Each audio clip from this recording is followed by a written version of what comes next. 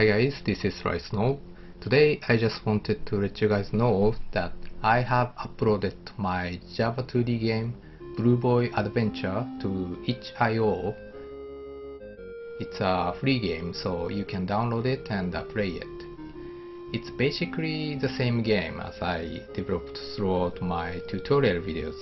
So if you have followed my tutorial from start to the end, you probably already know what's inside but I did a little balancing and also added a few more items, monsters and uh, one more dungeon level.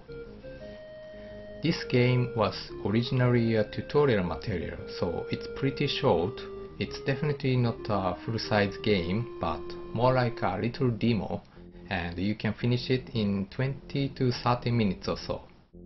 Still, I hope you will enjoy it or get some inspiration or motivation from it and uh, make something better yourself. Maybe I will add more stuff in the future, but for now, this is the result of the year-long tutorial that we went through. The game was supposed to be something much more simple. In my original idea, the game had no projectile or particles day and night cycle, pathfinding, etc. But thanks to you guys' suggestions and requests, it became a bit more complex and interesting. So this is our joint work. Anyway, if you are interested, please check my page on itch and uh, play it and uh, let me know what you think. Thanks for watching and until next time.